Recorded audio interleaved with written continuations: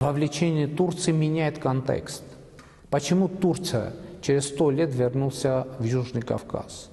Чтобы продолжить политику геноцида армян и чтобы продолжить свою э, экспансионистскую политику, это политика восстановления Турецкой империи.